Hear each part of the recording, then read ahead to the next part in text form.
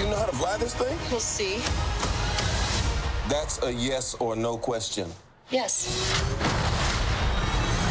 Nick Fury, agent of S.H.I.E.L.D., gets a rewind this time. He teams up with Captain Marvel just when the world is in need of some champions. This film to me sometimes feels as much an origin story for him as it is for her.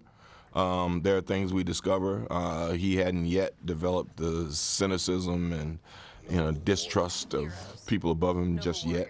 Uh, he doesn't know that there are extraterrestrials. She's his first alien. It's just kind of cool.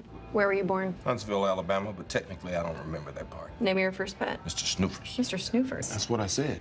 You're in this film uh, kind of the, the Marvel go to guy. You've been in so many of them. How, were the directors coming to you, asking you, like, should we do this? Should we do that? Is this right? Is that wrong? Uh, directors don't do that. Um, sometimes you just stop and say, okay, I've been in the Marvel Universe for a while, so I kind of know who Nick Fury is, so let me just do this. Let me show you first before you tell me.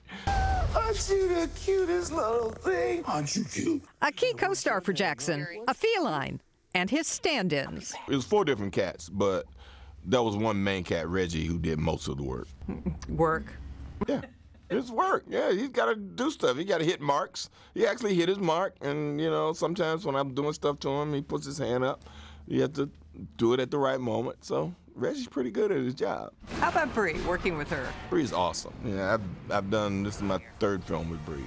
Uh, and it was an opportunity. She was so excited to do this, and she was even more excited to do it with me. She made me excited about it. Name a detail so bizarre a Skrull could never fabricate it.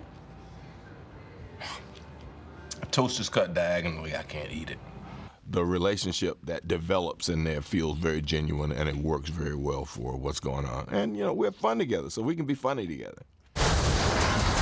Janet Davies, ABC7 Eyewitness News. Hey, if you like that video, be sure to subscribe to our ABC7 Chicago YouTube channel.